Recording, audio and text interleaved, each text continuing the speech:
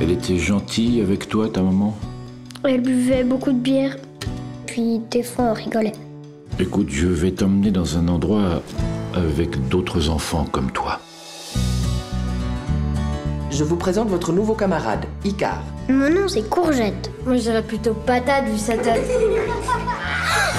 Oh, trop balèze, Courgette Salut Raymond. Ici, tout va bien.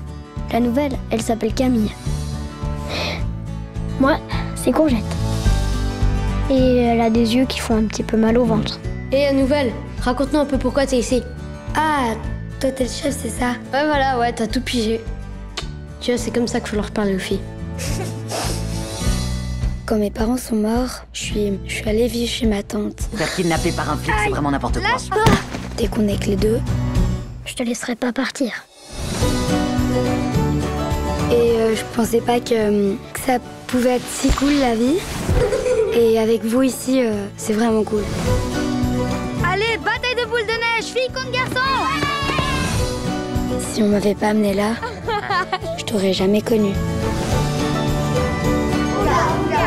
Parfois on pleure parce qu'on est content.